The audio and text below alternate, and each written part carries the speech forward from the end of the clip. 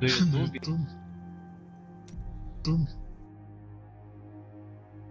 Olha o videozinho que eu fiz quando eu comprei minha, minha câmera. Todo mundo faz isso, eu acho, filmar a lua.